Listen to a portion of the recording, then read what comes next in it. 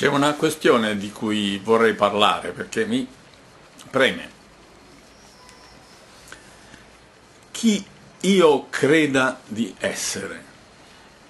Perché per quanto io mi esprima non riesco mai a essere sufficientemente chiaro. Io mi intendo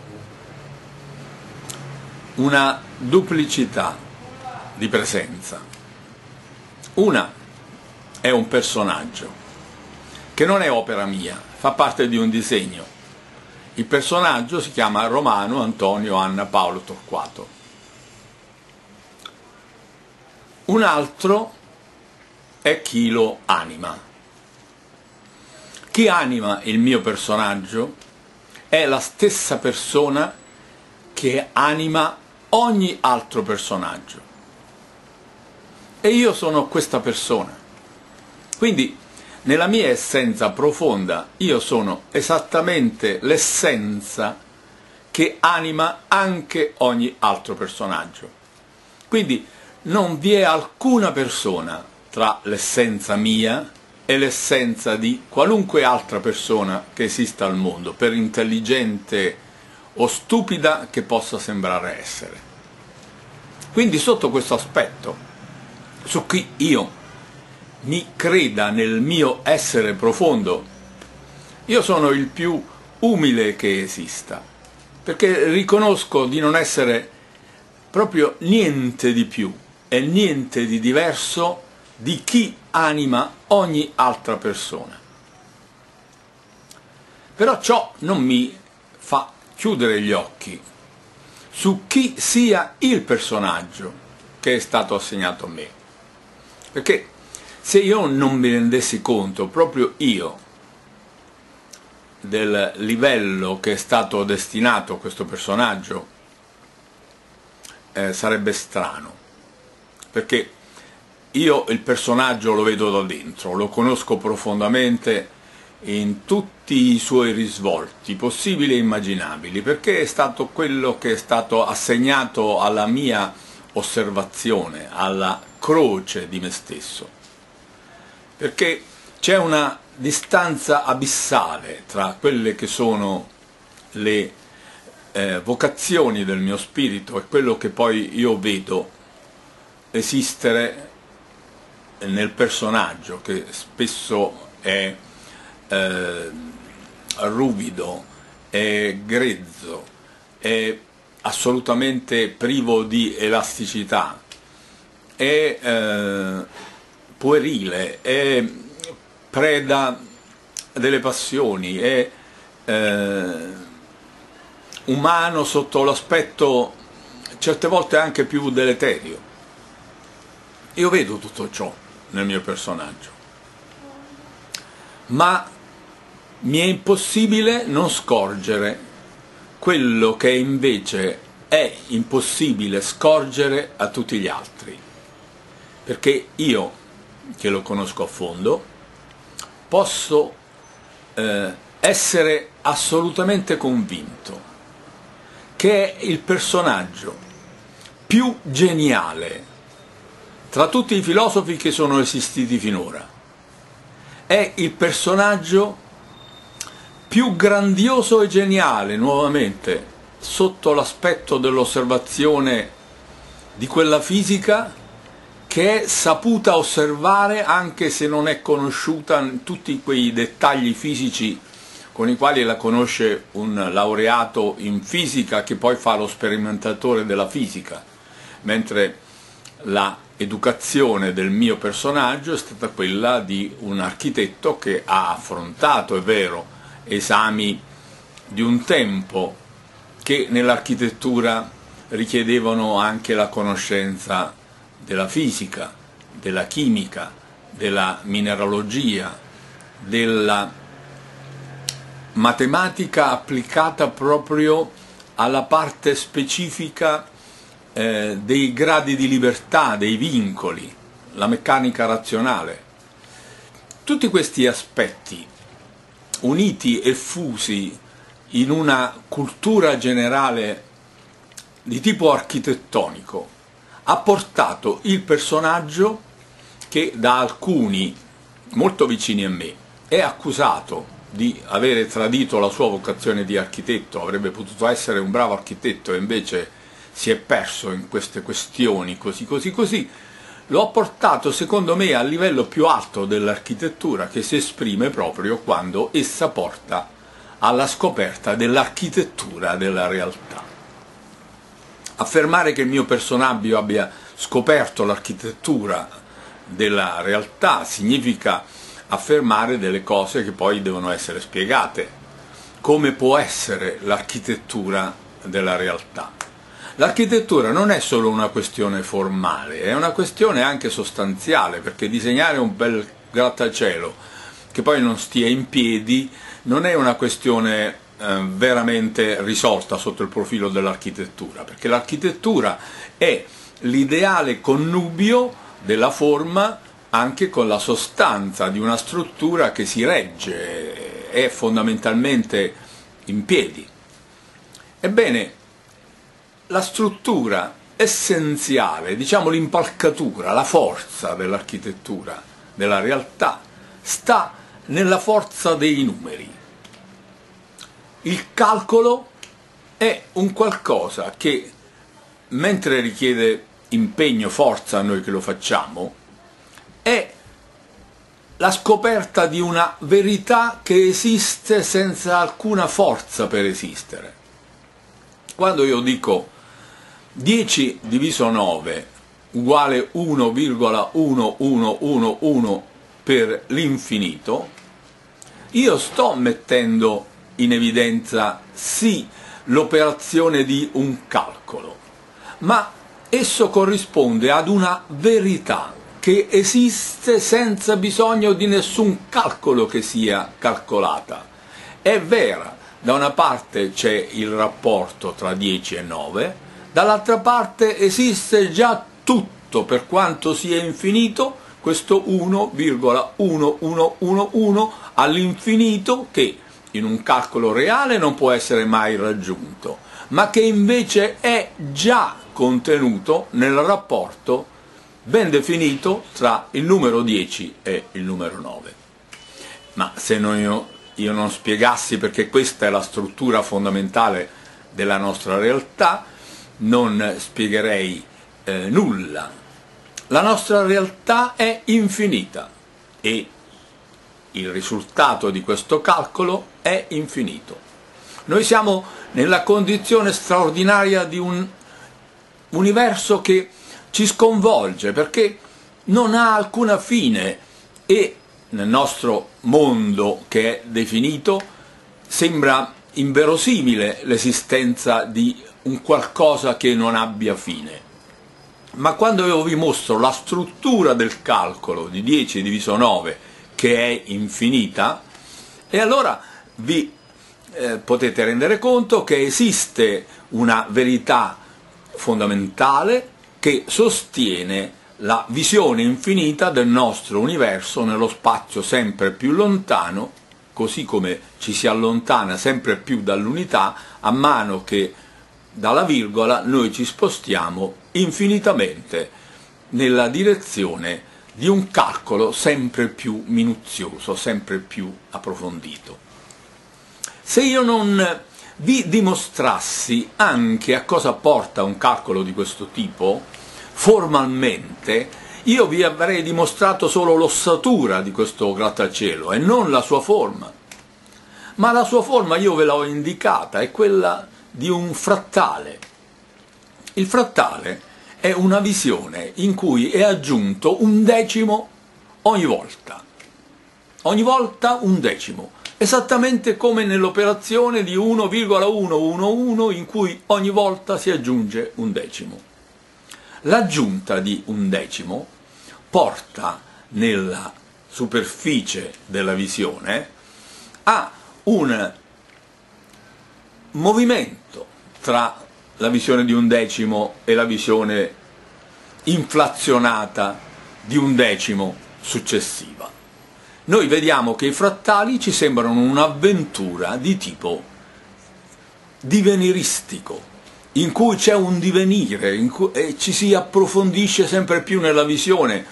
In certi frattali si vede come una nebulosa in lontananza e poi ci si avvicina e questa assume forma e a mano a mano che avvicina si differenzia e sembrano che appaiano le parti di questa nuvolosa e poi noi ci possiamo addentrare in un punto della nuvolosa e è un viaggio di avvicinamento sempre più, sempre più. Ebbene, nell'operazione 10 diviso 9, a un certo punto di questa profondità di campo che si è conquistata, il campo si restringe a quello della visione che noi abbiamo in questo momento. Per cui quella vita complessa che ci appare davanti non è altro che la definizione così approfondita di questo frattale che assume la presenza di una vita. Perché accade che nel fronte, a mano a mano che certe relazioni diventano intricate, si fissano dei rapporti conservativi che sembrano vita autonoma e si accorpano in una vita autonoma, che è sensata perché il calcolo 10 diviso 9 è sensato, ha una sua verità. E questa verità, quando si concentra in un gruppo di dati, diventa una vita che appare nella sua verità e se noi andiamo a indagare sempre più a fondo, scopriamo la verità nel complesso di quella verità e in un pesciolino che vediamo correre scopriamo tutte le parti sostanziali che costituiscono questo pesciolino. Insomma, arrivare alla struttura della realtà, all'architettura della realtà e alla forma della realtà, facendo capire in un modo così evidente, è un risultato che implica un genio, perché arrivare alla sintesi del 10 diviso 9 che porta a tutto ciò occorre eh, una grande capacità geniale di ricondurre tutto proprio al fondamento. Ma occorre anche la capacità di spiegarlo, perché da 10 diviso 9 accadrebbe questo? E io l'ho spiegato, perché 10 è il valore assunto dall'assoluto quando si è calato nel relativo. L'assoluto, indeterminato, per calarsi nel relativo aveva la necessità assoluta di determinare un valore che fosse, seppure nel campo relativo, l'espressione del valore assoluto. E questo valore assoluto è stato assunto dal ciclo di 10 unità. 10 elevato a 1, messo in riscontro al suo valore inverso dato da 10 elevato a meno 1. Quando noi poniamo in essere queste due opposte presenze, delle due opposte frazioni, di cui una è 10 su 1 e l'altra è 1 su 10, e noi le moltiplichiamo, otteniamo 10 decimi, otteniamo l'unità, ma è una unità che è articolata nei suoi valori opposti. E quando noi decidiamo di vedere la differenza che risulta tra questi due valori opposti, 10 e 1, scopriamo che la differenza è il 9.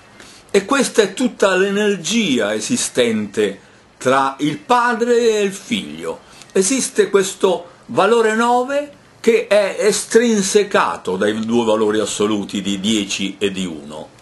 È il valore che porta alla cosa in sé, estrinsecata dai due valori assoluti.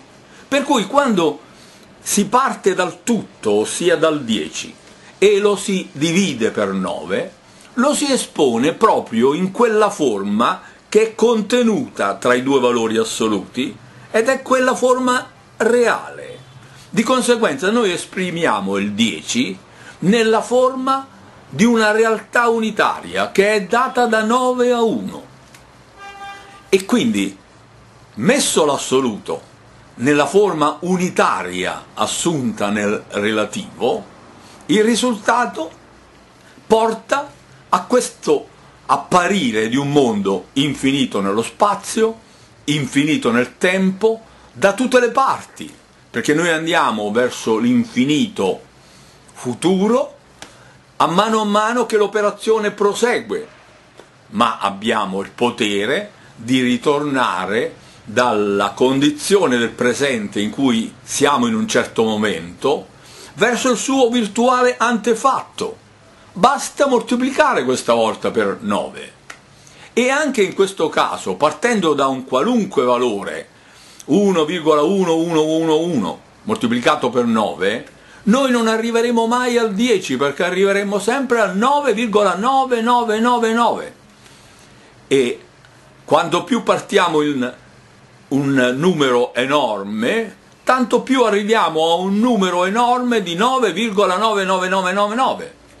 E quindi dalla nostra condizione di presente siamo in condizione di idealizzare un infinito futuro in un verso e un infinito passato nell'altro inverso. È un passato assolutamente coerente perché è legato al risultato unico di una operazione matematica.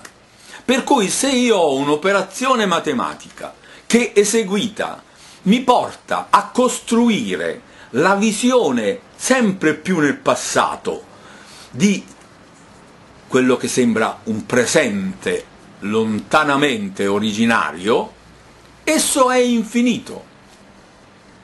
E posso costruire tutto quello che esisteva addirittura prima della comparsa dell'uomo sulla terra. Il potere dello spirito umano di costruire la visione di un mondo prima ancora che egli esistesse. Come se fosse vero tutto questo divenire formalizzato da questa operazione.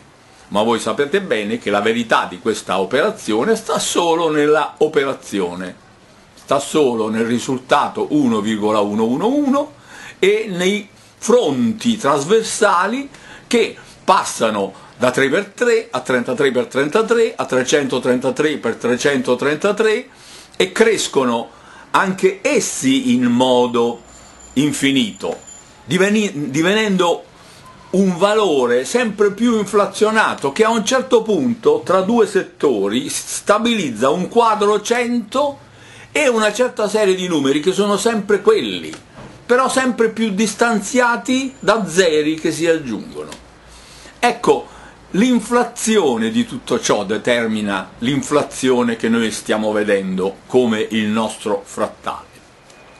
Ecco, essere arrivati a questa percezione dell'architettura della realtà è stato un successo che non è stato conseguito mai da alcun filosofo, ma da un filosofo della scienza che non parte da verità ideali non riscontrate, parte da una verità assoluta che è quella matematica e poi mostra in quale modo ideale l'intelligenza dell'uomo adotta certi numeri certi algoritmi per costruire l'immagine di un ciclo 10 relativo a un oggetto, per esempio, che esaminato nei vari rapporti possibili nel 10, che sono per esempio il 9 a 1, l'8 a 2, il 7 a 3 e così via, attraverso ogni rapporto consente di idealizzare una qualità, per cui accade che quell'oggetto ha sette qualità simultanee, ha la sua forma assunta nella massa, ha la sua forma assunta nel tempo, nello spazio, nel flusso reale, nel flusso termico, nel flusso molecolare e nel flusso che si esprime nei sette vincoli della sfera, a cui io posso arrivare appunto perché io so per la, gli elementi di geometria eh, di meccanica razionale che la sfera ha sette vincoli, ha i sei del sistema ortogonale e poi c'è il vincolo in più del raggio sempre costante. Io sapendo tutti questi vincoli arrivo a una idea che poi è trasformata in qualità di mondo che mostra su che base noi poi noi con il nostro cervello visualizziamo.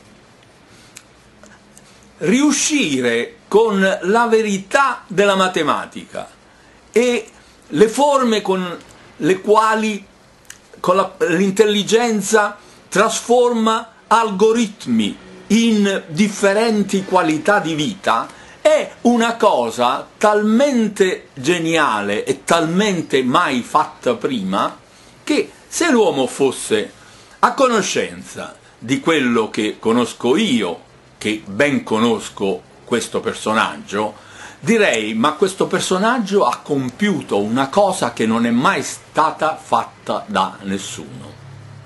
Poi c'è un altro aspetto, nella semplice filosofia.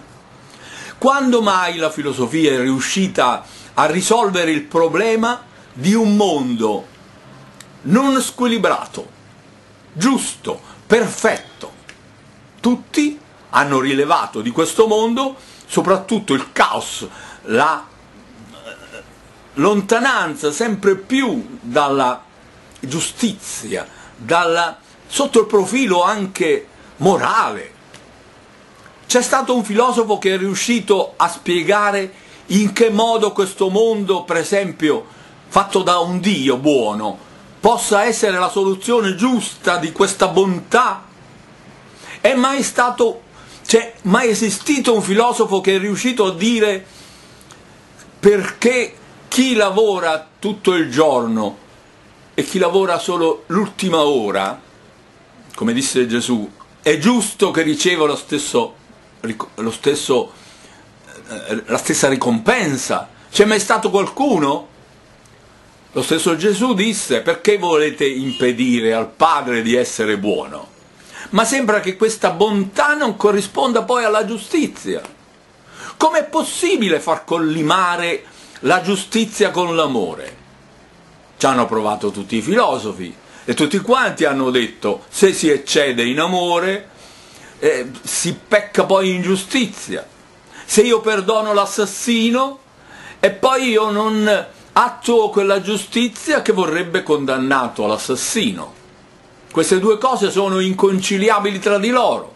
E viene un filosofo chiamato Romano Antonio Anna Paolo Torquato che arriva a dimostrare invece l'assoluta giustizia in che modo? Dimostrando quello che risulta alla fisica. Già alla fisica risulta che il nostro mondo è complesso, è fatto di materia e antimateria, di magnetismo e del suo opposto che è il flusso elettrico. Già il nostro mondo è definito binario, già si sa che azione e reazione esistono entrambi e sono simultanee ma occorreva proprio un genio per arrivare a dire che se sono opposti che interagiscono, devono valere più 1 moltiplicato per meno 1 e essendo meno 1 il risultato, il nostro mondo non evolve, ma devolve, perché è di segno negativo. E poiché noi stiamo vedendo una evoluzione di tipo positivo, noi stiamo vedendo una controevoluzione, ossia una devoluzione. Noi non stiamo vedendo l'annichilimento della materia indotta dal magnetismo in un punto unico senza alcuna dimensione, come se fosse stata risucchiata tutta in un buco nero, non riusciamo a vederlo, perché? Possiamo vedere solo quello che è esattamente opposto, al magnetismo ed è l'espandersi elettrico, opposto all'annichilimento dell'antimateria, che è la materia che si espande. E arriviamo a vedere la fuga delle galassie fatte di materia e di luce, E arriviamo a dire nei geni di questo mondo, quando scoprono il Big Bang, oh, esiste un grande botto, perché nella gravitazione universale dell'universo tutto dovrebbe andare verso il centro, ma noi vediamo tutto che va verso la periferia perché evidentemente c'è stato un momento iniziale di ribellione contro tutto ciò e l'universo è esploso in questo grande botto. Ma questa è ancora una volta l'assoluta mancanza di coerenza, che poi diventa geniale in chi fa capire l'incoerenza estrema di chi non si rende conto e giace ancora in una visione tolemaica dell'esistenza, che è quella di portare a credere vero quello che vedi senza calcolare che questo che stai vedendo è la reazione e non l'azione. Fino a quando non consideri la complessità dell'esistenza e vedi solo l'espansione delle galassie, non arrivi a capire che la verità è esattamente quella uguale e contraria dell'antimateria che si sta annichilendo verso un punto centrale, in cui poi tutto esiste in potenza. Scoprire il vero, laddove è definito, è ben definito perché sono secoli ormai che la fisica conosce il principio fondamentale, il terzo di azione e reazione. Ma perché finora non ha mai fatto il calcolo di più 1 meno 1, scoprendo che la reazione tra loro è meno 1 e noi vediamo più uno solo perché stiamo vedendo in modo uguale e contrario. E quindi noi vediamo l'evoluzione perché c'è una devoluzione, nell'inverso, ma sono la stessa cosa. Vedere l'evoluzione della materia e dell'elettricità significa vedere la devoluzione di quanto gli è opposto. Ma occorreva un genio per arrivare a capire allora che la verità del nostro mondo è che si sta annichilendo, sta tornando verso un punto iniziale in cui tutto esiste in potenza. Il modo in cui noi stiamo vedendo arrivare, in un certo senso, con un certo timore, a quel momento del calendario Maya che dice che è la fine del tempo e che eh, sembra esploso sempre in questa linea dell'espansione delle galassie, potrebbe essere rientrare in quel punto originario da cui tutto poi veramente comincia. Ma noi sappiamo benissimo che la visione che è in atto ora ha un infinito passato possibile e un infinito futuro possibile, per cui non esistono questi termini così perentori e così fissi però esiste il movimento, quello giusto, e quello visto in modo uguale e contrario. E il movimento giusto che noi stiamo vedendo è la devoluzione. Per cui noi stiamo vedendo un male che si annulla, un bene reale che si annulla. E possiamo benissimo capire a questo punto che Dio è buono perché ci toglie l'abito reale, che poi è quello che si consuma, lo mangiano le tignole, come diceva Gesù, per darne uno ideale, poggiato sui valori ideali della idea, della mente e non di questa realtà che è vista facendo esplodere il calcolo 10-9, 10 diviso 9. Questo calcolo è sempre quello e è sempre visitabile, ma l'importante è che il soggetto umano, l'anima umana, arrivi a questo valore in potenza in grado di esaltare un suo modo di vedere, perfino Dio. E Dio aveva la necessità di essere un Dio che avesse ogni tipo di apertura mentale determinata. E allora si è determinato in tutti i modi possibili e immaginabili, in santi, e in malfattori e in tutte le combinazioni tra i santi e i malfattori, e sempre Dio ha data la libertà assoluta a ciascuno di questi di partire dalla sua croce superare in assoluto quella croce, idealizzando il Dio di quella croce. E quindi avremo un Dio assoluto, che è il valore integrale di ogni Dio della croce, di ogni Cristo che esiste. Per cui il Cristo storico che noi vediamo è l'esempio fulgido di quella opera che accade in ciascuno di noi. In ciascuno di noi Dio assoluto ha assunto la croce del suo personaggio per superare quella croce. Ma io sto, sto parlando della croce del personaggio romano Amodeo. Premesso che l'osservatore è sempre quello e che io non sono Romano Amodeo, io che vi esprimo i miei concetti perché io sono l'anima che sta dentro Romano Amodeo, che ha messo da parte il personaggio ed è uguale all'anima di ognuno di voi e quindi tolta di mezzo ogni presunzione di essere io più di voi, diverso da voi, tolto di mezzo tutto questo, ma io osservo le conquiste fatte da questo personaggio.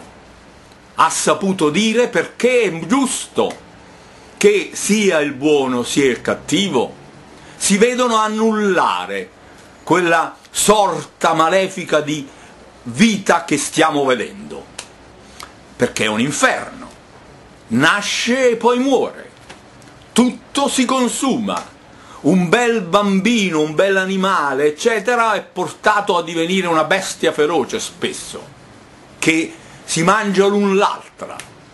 Questa è la vita. La corrosione progressiva del bene ideale di una innocenza nel momento in cui uno nasce, per vederla poi fiorire o nel bene o nel male, divenendo un santo o un malfattore.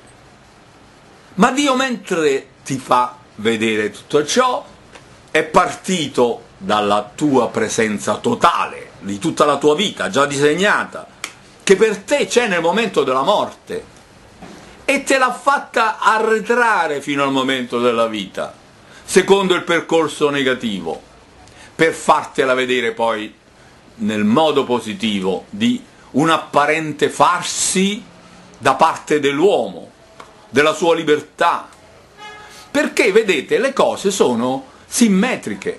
Se Dio agisce su tutto e nel modo giusto riconduce tutto all'unità, la stessa cosa vista nel modo inverso sembra apparentemente libera in tutte le sue unità, di evolvere tutte in relazione alla loro apparentemente libera individualità. Un mondo appare assolutamente libero e privo di Dio, l'altro mondo è tutto costretto da Dio, ma noi vediamo questo mondo apparentemente indipendente da Dio perché stiamo vedendo proprio l'opposto del mondo comandato solo da Dio. È comandato da Dio a fin di bene, a fine di creare una infinita gamma di persone, personaggi, tipi, tutti infine vittoriosi, in base alla loro libertà, al rispetto che Dio ha avuto per il loro spirito, tanto assoluto da non imporgli una, un modello. Certo che gli darà nel corso della vita vari modelli, che sono le fedi, ma non sono fatte per castrare la libertà dello Spirito Santo di ciascuno, ma per aiutarlo, per favorirlo, per dargli esempi da cui partire, fondamenti su cui costruire poi ciascuno il suo libero palazzo. Dio dà solo le fondazioni, con una fede o con l'altra. Perché poi è tutta una questione dell'uomo libero che parte a partire dal fondamento della fede che ha. Ma non è la fede che ha che lo salva. Lo salva la libertà che ha ricevuto. Perché quella libertà che ha ricevuto e che sembra assolutamente un fatto tutto suo, e invece tutta comandata da Dio quando dal disegno interamente fatto esso è ricondotto al suo esistere in potenza e da un mondo che appare esistere realmente ed essere tutto fatto, tutto questo rientra nell'idea assoluta, pura e spirituale di Dio. Noi, grazie a tutto ciò, siamo stati messi in condizione di esistere nel nostro io semplicemente perché Dio ci ha concesso il libero arbitrio di pensarla a modo nostro. Ecco, noi abbiamo questa libertà e non contrasta assolutamente quella di Dio. Ma quando mai avete avuto un filosofo che vi ha saputo spiegare le ragioni per cui la libertà umana non è mai, mai, mai, mai, mai contro alla volontà di Dio? Ve l'ha mai saputo spiegare qualcuno? Ma questo filosofo qui, Romano Modello, fa?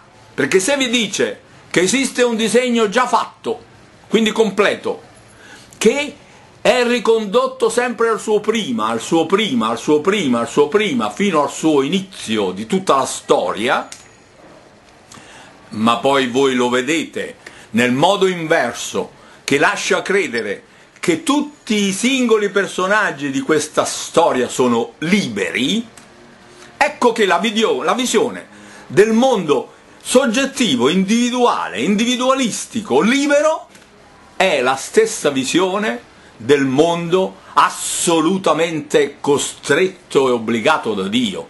Allora Dio che cosa fa? Cosa costringe?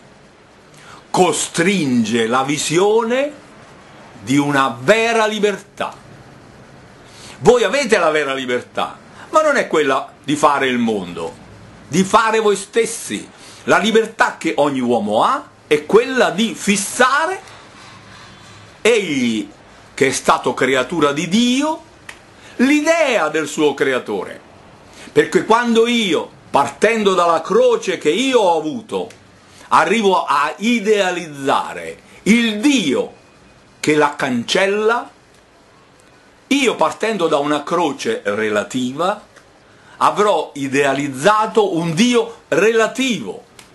Il modo con il quale egli vince la mia croce contrasta anche con il modo con il quale lo stesso Dio vince un'altra croce. Contrasta. Ma il bello è questo, che da tutti i contrasti poi di questi Dio reali perché costruiti su base reale, della croce reale di ciascuno, diventano fusi insieme nell'unità e perfezione di Dio, questa è la straordinaria bellezza di tutto il disegno, contenenti luci ed ombre. Guai se ci fossero solo luci, avremmo una tela bianca. Guai se ci fosse solo mancanza di luce, avremmo una tela nera. Guai se non ci fossero i colori, se non ci fossero i toni. Dio dà modo a tutto di esistere. Ed ecco che ne viene fuori il bellissimo quadro del mondo che noi abbiamo davanti, che è un quadro bellissimo, che sembra tragico, perché vi si compie il male e si vede compiuto. E quando ci si rende conto che invece è Dio che toglie via quel male, che sembra compiuto, allora si arriva a capire quanto Dio ci ami e ci voglia tirare fuori da questo disegno reale per ricondurci come figli in quell'ideale di Dio in cui poi ogni spirito nostro, che vi ho detto è uguale, però sarà caratterizzato dalla idea che avrà voluto assumere come il suo ideale. Qui ci saranno le differenze e ci saranno tutti i possibili figli di Dio, tutti figli di Dio, differenti forse dal Padre, niente affatto, perché sempre padre e figlio sono la stessa cosa. Di conseguenza, se al mio personaggio Dio ha concesso il ruolo del personaggio del padre, che è il padre unico di tutti gli uomini, e poi ha creato in ciascuno di voi l'infinita gamma di personaggi figli, ha forse fatto un'ingiustizia, perché il padre è uno e i figli sono un infinito? Assolutamente no, perché ogni padre e ogni figlio sono la stessa immagine di un Dio assoluto e onnipotente che non è solo indeterminato, ma è anche determinato. E quando è determinato in tutti i modi possibili e immaginabili in cui è determinato in ogni figlio, ecco la perfezione ideale di un Dio assoluto. Ma quando mai voi avete avuto un personaggio che vi ha saputo spiegare la verità di tutto ciò, togliere di mezzo tutte le ingiustizie che esistono, tutte le colpe che sono assegnate a Dio. Quando mai? In filosofia, in storia, nella scienza. Mai. E ci è arrivato in un modo che è apparentemente legato solo alle sue forze, contrastato da tutti. Egli ha avuto i parenti prima di tutti, quelli che gli volevano bene, che gli sono andati contro. Ma perché, Romano, ti ostini in questa vita irrazionale, irragionevole? Tu ora hai 35 anni, hai già raggiunto l'apice di te stesso, perché sei un architetto affermato, sei in un ente importantissimo della Lombardia, sei a livello massimo tecnico di una struttura di un consorzio di 80 comuni. Sei il direttore di una rivista di architettura. Sei un costruttore. Sei pieno di desideri, di voglia di esprimere l'arte in tutti i modi possibili e immaginabili e lo sport in tutti i modi possibili e immaginabili. Sei un soggetto così vivo. E perché?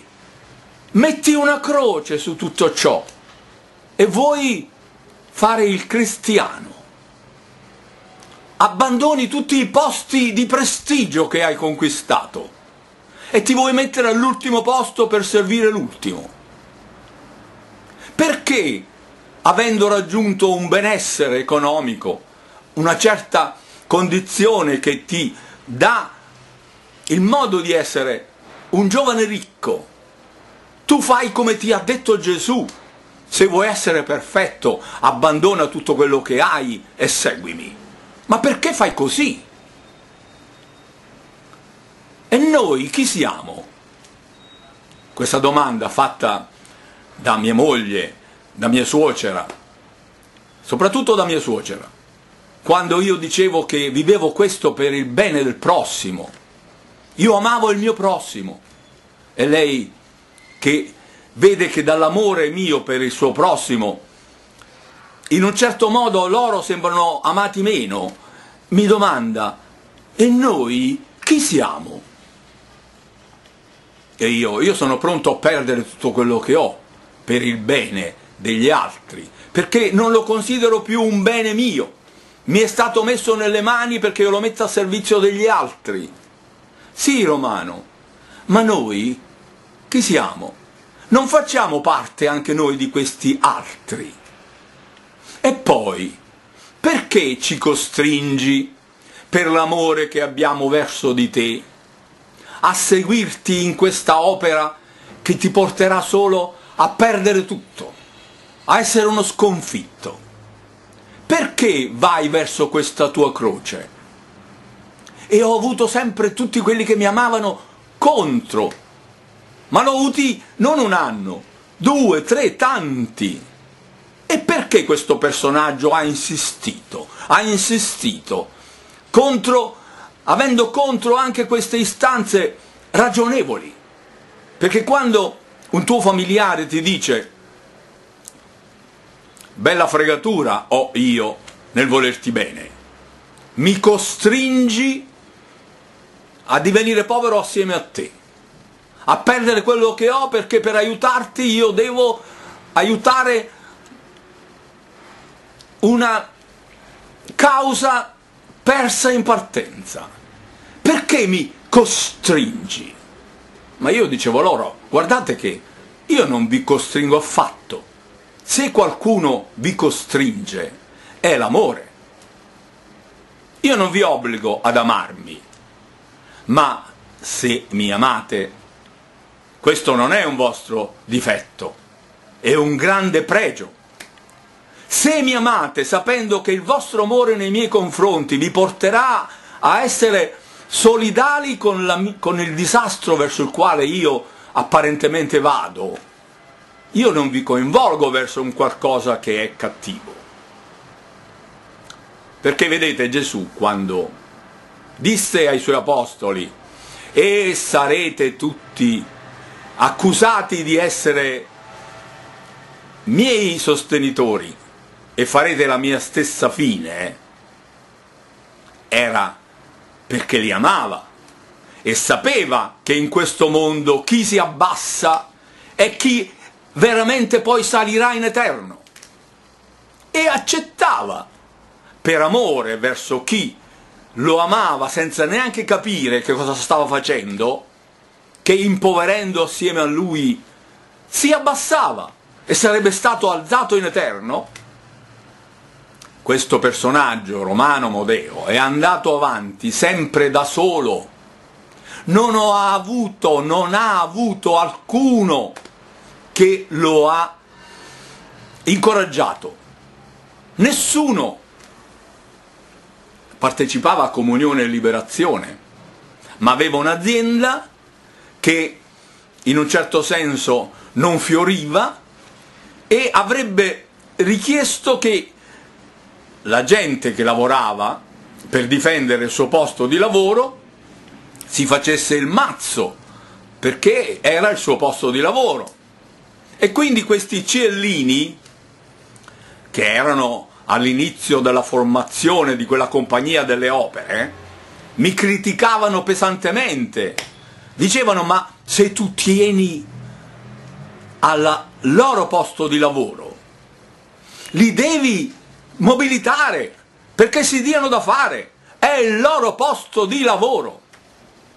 Non è giusto che sia solo tu a perdere sempre di più e a non sollecitarli più del giusto, perché gli fai perdere il posto di lavoro. E io gli rispondevo, ma siete certi? Guardate che le cose non le fa l'uomo, le fa Dio.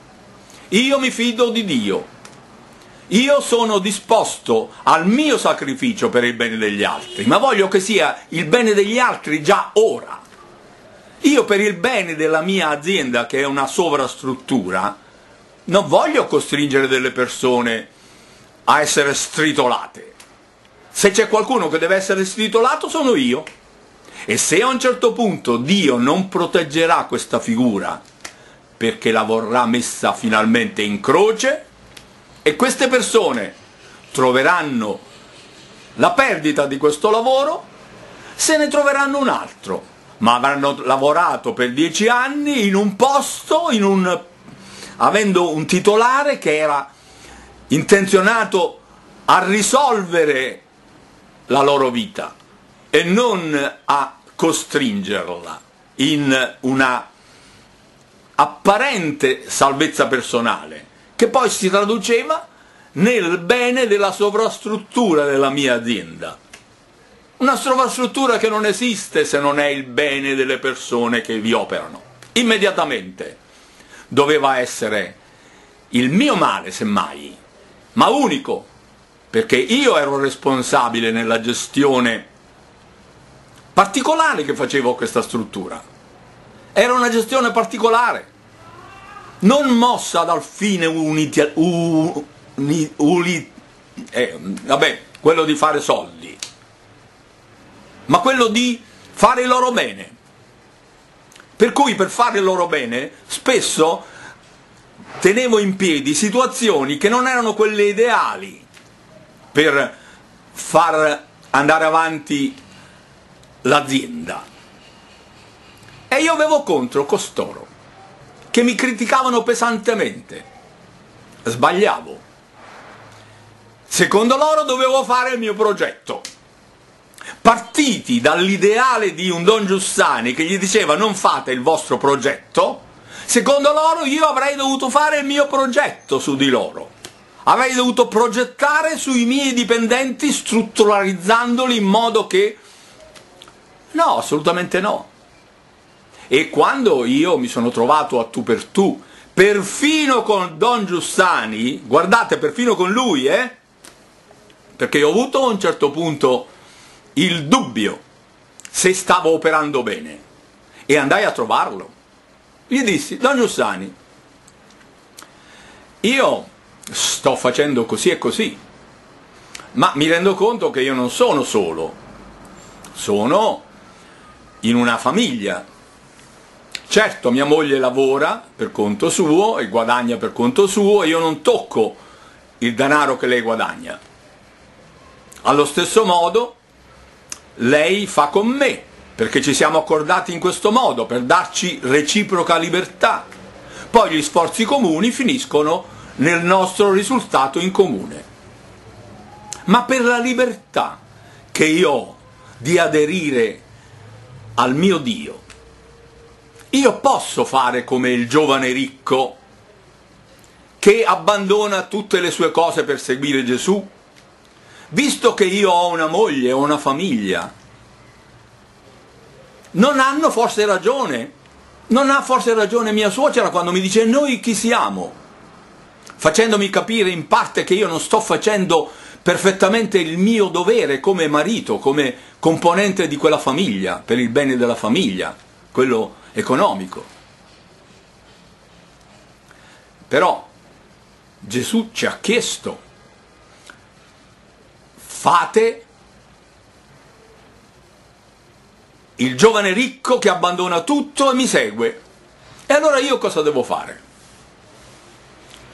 Don Giussani non mi rispose, mi disse, eh, ci devo pensare. Ne parleremo in seguito. Quel seguito poi non c'è mai stato.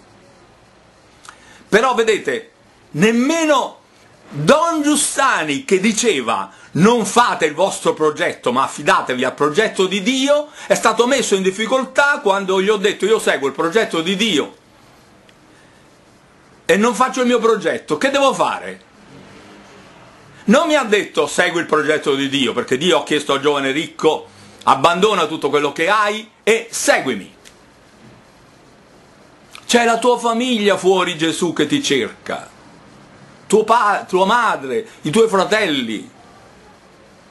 Gesù rispose, mia madre e i miei fratelli sono coloro che seguono quello che io sto dicendo.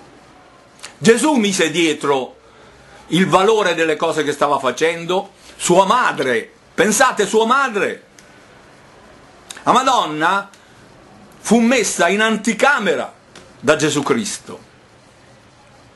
E io avrei dovuto mettere invece davanti la mia famiglia.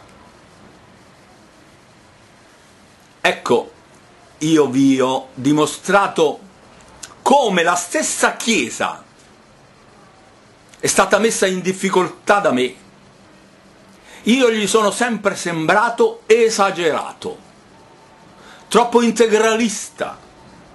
La vita non è una cosa così. Qui bisogna mediare. Qui bisogna tra il sì e il no, ma Gesù lo disse, dite sì o no, perché il di più è del maligno. Per cui il personaggio Romano Amodeo è andato controcorrente con la Chiesa, quella Chiesa che poi seguiva, con passione, con amore, con fedeltà, confessandosi, facendo penitenza, chiedendo perdono per le sue colpe, facendosi piccolo piccolo, nonostante a poco a poco si rendesse conto di che ruolo Dio avesse dato al suo personaggio.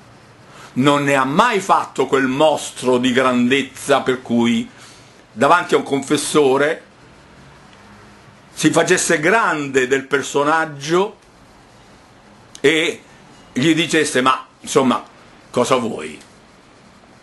Era il personaggio che era posseduto dall'anima del Romano Modeo, che si rendeva conto della croce del personaggio, che tante volte era condiviso dallo spirito, approvato in certi desideri di male, di cose che non erano perfette, proprio per quella croce che quel personaggio doveva patire e chiedeva perdono, umilmente, per quella croce, pur sapendo che l'essenza di ogni uomo è quella di Dio, ma Dio, come dice Gesù, è umile, non si pone davanti a nessuno, si inginocchia e chiede perdono alla sua creatura che ha fissato come il suo sacerdote che lo deve perdonare.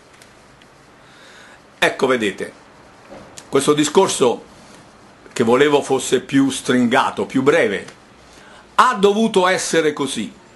Perché se io non spiegavo esattamente la differenza sostanziale tra chi io credo di essere e non vi spiegavo perché io sono esattamente ciascuno di voi, per questo posso essere poi il padre, perché io mi riconosco in ciascuno di voi figli, dicendovi però che guardate che siete la stessa cosa con me, perché padre e figlio sono parte della stessa sostanza. Non può esservi un padre di un figlio se non c'è il figlio e non ci può essere un figlio se non c'è il padre. Sono quelle due cose assolutamente legate come l'uovo e la gallina. Chi è nato prima? L'uovo o la gallina? Chi è nato prima, il padre o il figlio?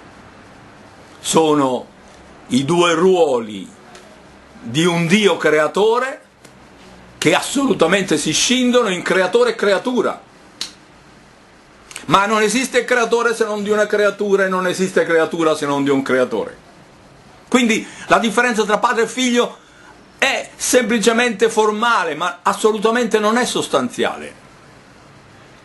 Ecco, ciò detto, io vi ho poi detto, guardate che io che conosco da dentro questo personaggio, vi posso garantire che io non ho mai incontrato in tutta la storia umana un genio maggiore di questo tipo qui, che è tanto geniale che sono solo pochi e privilegiati coloro che in questo momento stanno seguendo le cose che io dico, a rendersi conto e a capire quello che sto dicendo io. Perché il genio di questo personaggio è tale, è tanto lontano dalle cose che passano per la testa delle altre persone, che sono occupate a essere fan di quel cantante, di quel calciatore e non del personaggio che sta spiegando la rava e la fava dell'esistenza di Dio. E perfino Dio, il suo sistema di operare, il suo essere uno uguale dieci decimi, il suo realizzare il mondo grazie a quel dieci diviso ciò che sta in mezzo tra il padre 10 e il figlio decimo di 10. Bene, finisco qui, perché altrimenti viene, anzi è già venuto il solito pezzo lunghissimo che sembra pleonastico a tutti coloro che sono troppo frettolosi, affrontano gli argomenti e poi il minuto solo che passa dopo pensano ad altro, come se fossero stati lavati da, da un'acquetta che non conta niente.